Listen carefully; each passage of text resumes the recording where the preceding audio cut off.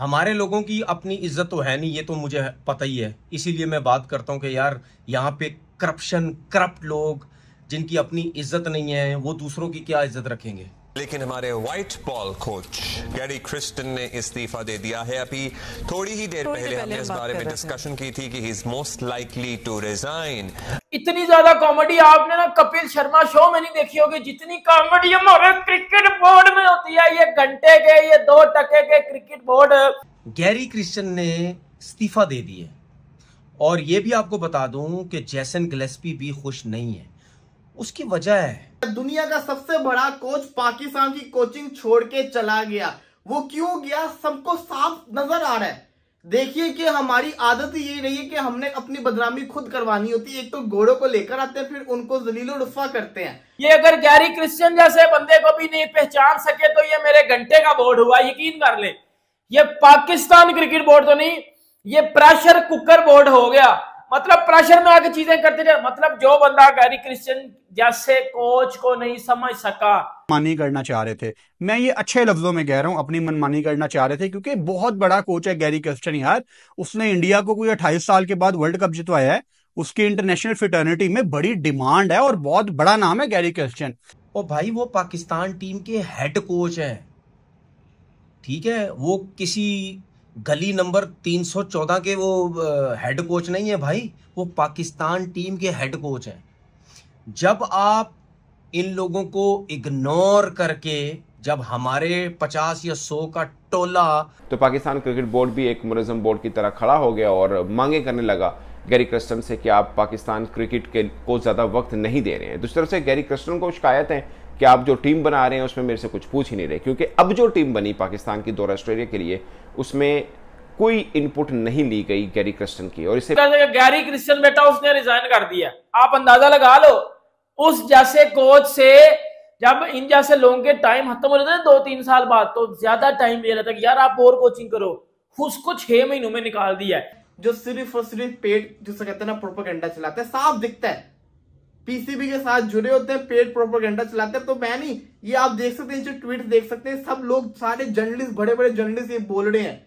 नाम नहीं ले रहे, लेकिन वो बोल रहे हैं। सवाल ये आता है ये कौन सा पेड जर्नलिस्ट है जो सिर्फ़ और सिर्फ़ प्रोपोगेंडा चलाने के लिए फ़ेमस है। यार पाकिस्तान वो नली टीम है, जिधर कुछ भी हो सकता है। इधर पर्चियों में प्लेयर होते हैं और पर्चियों में ही कोचिंग स्टाफ होता है। और जो अच्छे कोच होते हैं ना, उनको ये रखते नहीं है। जैसे गैरी कस्टन गैरी कस्टन ने यार इस्तीफा दे दिया इन लोगों से तंग आके। क्योंकि देख सकते हो गैरी कस्टन की एक भी बात नहीं सुनी जा रही। यहाँ तक की जो प्लेयरों के चयन भी हो रहे हैं गैरी कस्टन से बिना पूछे हो रहे हैं। ऑस्ट्रेलिया दौरे के लिए पाकिस्तान को जाना था। बिना गैरी कस्टन के टीम का चयन किया गया है। गैरी कस्टन को इन्वॉल्व भी नहीं कर रहे, बताओ। और वो हेड कोच है यार व्हाइट बॉल का। कुछ तो इज़्ज़त करो उसकी। वो भी तंग आके उसने इस्तीफा दे दिया। इसी कारण उन्होंने बोला, चलो यार, इन पाकिस्तानी भिखारियों के पास क्या रहना? इस में आईपीएल में जाऊँगा, वहाँ पर कोचिंग करूँगा, आराम से इंजॉय करूँगा। जब से पाकिस्तान से जुड़ा हूँ, परेशान हो चुका हूँ पूरी तरह से। आराम से इंडिया जाके आईपीएल में कोचिंग करूँगा। अब देखना, वो यही करेगा गैरी कस्टन अब। अब गैरी कस्टन को भाना भी चाहिए था की यार, कब मैं पाकिस्तान की कोचिंग छोड़ू? क्यूँकी वो तंग आ चुका था। एक तो पाकिस्तान प्लेयर को देख के, एक पीसीबी को देख के, क्योंकि जिस तरह से इनकी हरकत है, क्योंकि देख सकते हो प्लेयरों की आपस में ही नहीं बनती। सब एक दूसरे से चिड़े रहते हैं। मुझे कप्तानी चाहिए, उसके अंडर नहीं खेलूँगा मैं। ऐसे चल रहा था। अब देखना, जैसे गिलिस्पी भी कुछ ही महीनों में रिजाइन कर देगा, फिर देखना पीसीबी के मुँह में ताला लग जाएगा।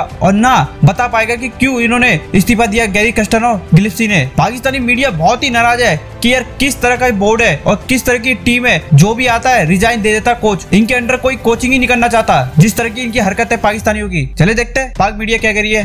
गैरी क्रिश्चियन ने इस्तीफा दे दिए और ये भी आपको बता दूँ कि जैसन गिलेस्पी भी खुश नहीं है। उसकी वजह है और भाई वो पाकिस्तान टीम के हेड कोच हैं।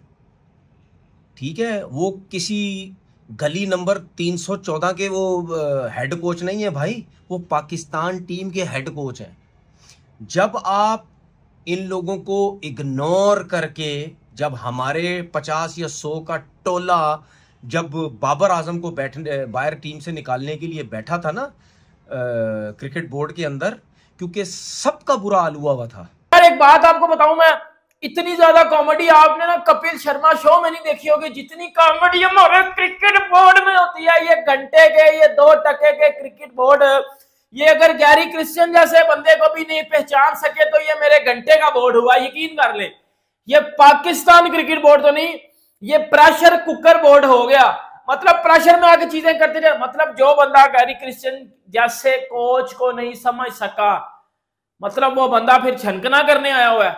इसके ऊपर बात कर देगा गैरी क्रिश्चियन बेटा उसने रिजाइन कर दिया। आप अंदाज़ा लगा लो, उस जैसे कोच से जब इन जैसे लोगों के टाइम खत्म हो जाते हैं दो तीन साल बाद तो ज़्यादा टाइम ले लेता यार आप और कोचिंग करो। उसको छह महीनों में निकाल दिया है। ये हमारे लोग नहीं है। जिथो आण दो तो आण दो बेस्ती होन दो तो होन दो ठीक है? ये करप्ट है सारे। करप्टों का टोला हमारे यहाँ पे है सब। इनको इज़्ज़त बेचती, इनको क्या पता इज़्ज़त बेचती क्या होती है भाई? इनको क्या पता? ये मेरी बात याद रखना। दुनिया में, मैं दुनिया की बात कर रहा हूँ। दुनिया में जो लोग पैसों के पीछे भागते हैं, सीटों के पीछे भागते हैं करप्ट लोग हैं, उनको अपनी इज़्ज़त बेस्ती की कोई फ़िक्र नहीं होती। भाई, ये फॉरनर्स हैं। आपने जो इन कोचिस का हाल किया है इवन इवन जब आकिब जावेद और ये सारे अजहर अली ने मिलके ये जब पिचेस बनाने की, ये सब चीज़ें की बात हुई थी, या ये जो आपने सेंटर कॉन्ट्रैक्ट्स अनाउंस अनाउंस किए हैं, या ये जो आपने वाइट बॉल की टीम अनाउंस की है, इसमें गैरी क्रिस्टन कहाँ है? कहाँ है इसमें गैरी चलो मैं सेंटर कॉन्ट्रैक्ट तो साइड में करता हूँ सेंटर कॉन्ट्रैक्ट में इतनी बात ही नहीं करता। जब आपकी व्हाइट बॉल क्रिकेट की टीम अनाउंस हुई, उसमें गैरी क्रिस्टन कहाँ है? गैरी क्रिस्टन तो हमें नज़र ही नहीं आ रहा कहीं। क्यों? गैरी क्रिस्टन कोच नहीं था। गैरी क्रिस्टन की ज़रूरत नहीं थी। उससे पूछने की ज़रूरत नहीं थी। उसको अपने साथ बिठाने की ज़रूरत नहीं थी कि भाई आप भी बैठे, आप हेड कोच हमने क्या किया? हमारे लोगों ने क्या किया? जिनकी अपनी इज़्ज़त बेचती तो है नहीं, उन्होंने खुद ही बैठ के सब कुछ कर लिया। गैरी कृष्ण बहुत बड़ा नाम है कोचिंग में। और वो जिस भी टीम के साथ रहा उस टीम ने उससे बहुत कुछ सीखा है। वो टीम बेहतर हुई है उस टीम के प्लेयर्स बेहतर हुए हैं। लेकिन पाकिस्तान टीम एक वायद ऐसी टीम है जो गैरी क्रिश्चियन जैसे कोच की भी इज़्ज़त नहीं कर सकी इज़्ज़त नहीं करवा सकी। ऐसा ही इन्होंने मॉर्नी मॉर्कल के साथ किया था जो अभी इंडियन टीम का को, बॉलिंग कोच है। वो हुश है उधर बिल्कुल मुतमिन बैठा हुआ है। लेकिन दूसरी तरफ़ हम हम घंटे और हम घंटे हमने गैरी क्रिस मतलब मैंने ये जब न्यूज़ देखी है ना, मेरा दिमाग खराब हो रहा था कि ये घंटे का, ये घंटे का बोर्ड है भाई लिटरली बता रहा हूँ, ये घंटे का बोर्ड है। वो भाई, गैरी क्रिश्चन को निकालने की वजह बता दो मुझे। दुनिया का सबसे महँगा तरीन कोच, दुनिया का सबसे सक्सेसफुल कोच, इतना बड़ा इंडियन प्लेयर्स इतनी रिस्पेक्ट करते हैं उस गैरी क्रिश्चन की। मैं बता नहीं सकता आपको, लेकिन इन घंटों ने उसको निकाल दिया है। और वजह पता क्या हमारा मीडिया दे रहा है? हमारा मीडिया ये वजह दे रहा है कि पीसीबी चेयरमैन मोहसन नकवी साहब ने गैरी क्रिश्चियन से प्लान बी मांगा है। तो गैरी क्रिश्चियन के पास प्लान बी नहीं था। अब गैरी क्रिश्चियन जो पूरी ज़िंदगी अपनी क्रिकेट में गुजार चुका है, बाकी ज़िंदगी उसने कोचिंग में गुजार दिया है, उसके पास प्लान बी नहीं होगा। ये कितनी घटिया बात है। गैरी क्रिस्टियन ने डिज़ाइन क्यों किया? दुनिया का सबसे बड़ा कोच पाकिस्तान की कोचिंग छोड़ के चला गया। वो क्यों गया? सबको साफ़ नज़र आ रहा है। देखिए कि हमारी आदत ये रही है कि हमने अपनी बदनामी खुद करवानी होती है। एक तो घोड़ों को लेकर आते हैं, फिर उनको जलीलो रुफा करते हैं। अब एक कोच के ऊपर आप क्रिटिसिज्म करते हो कि भाई साहब, तुम्हारी वजह से टीम हार गई। लेकिन जब उसको टीम बनाने का आप हक ही नहीं दे रहे हो तो फिर आप कहाँ का क्रिटिसिज्म उसके ऊपर कर सकते हो? गैरी क्रिस्टन का शिकवा ये था कि जो टर्म्स एंड कंडीशन उसके साथ साइन की गई थी, उसके ऊपर पीसीबी पूरा नहीं उतरा। उसको सिलेक्शन से बाहर कर दिया है, वो जिन प्लेयर्स को चैंपियंस कप आपने करवाया था। चैंपियंस कप के अंदर गैरी क्रिस्टन बैठे हुए थे चैंपियंस कप देख रहे थे। उन्होंने एक ड्राफ्ट बनाया था प्लेयर सिलेक्ट किए थे ऑस्ट्रेलिया के लिए। लेकिन आपके जो न्यू सिलेक्शन वाले लोग हैं, उन्होंने सारे के सारे गाइड कर दिए चेंजेस कर दिए। गैरी क्रिस्टन चाहते थे कि साउथ अफ्रीका वाला जो टूर है ना, उससे पहले जो जिम्बाब्वे वाला टूर है, उसके अंदर बाबर को भेजे ताकि कंडीशन को वो यूटिलाइज करे, उसकी फॉर्म वापस आए। यही नहीं गैरी क्रिस्टन ये चाहते थे कि मेरी जो चैंपियंस ट्रॉफी की टीम है ना, उसके अंदर चेंजेस ना करें। मैंने अपनी एक बैलेंस टीम लेके चलनी है। फखर को भी बाहर निकाल दिया बाबर को भी निकाल दिया और आपको पाकिस्तान के white ball coach Gary Kirsten ने रिजाइन दे दिया अभी कुछ दिन पहले हम अपनी वीडियोस में बात कर रहे थे। मैंने आपको बताया था कि मैं सरप्राइज़ नहीं होऊँगा। अगर आने वाले टाइम में गैरी कस्टन या जैसन ग्लेस्पी या ये दोनों अपने टाइम से पहले रिजाइन हो जाएँ, बेसिकली स्टोरी के ना दो पहलू हैं। कुछ गैरी क्रिश्चियन ने पाकिस्तान क्रिकेट बोर्ड को तंग किया हुआ था। कुछ पाकिस्तान क्रिकेट बोर्ड ने गलत बयानी की गैरी क्रिश्चियन के साथ, जिसकी वजह से उनका दिमाग घूमा।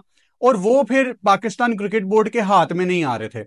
अब मिसाल के तौर पे हमने ना दोनों पहलू यहाँ पे डिस्कस करने हैं। नंबर वन ये, पाकिस्तान को बड़ा नुकसान होना है इसका, क्योंकि ये जो गोरे हैं ना इंटरनेशनल फिटर्निटी ये एक दूसरे के साथ शेयर करते हैं बातें, और ये एक दूसरे की बात मानते भी हैं।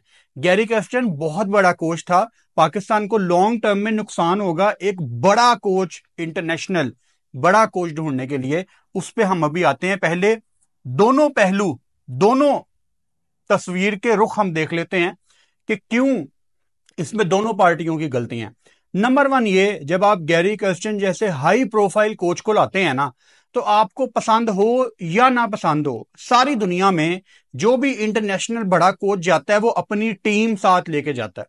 उसका फिजियो अपना होता है, उसका ट्रेनर अपना होता है, उसका फील्डिंग कोच अपना होता है, ये एज ए ग्रुप काम करते हैं और सारी दुनिया में ऐसे ही चलता है।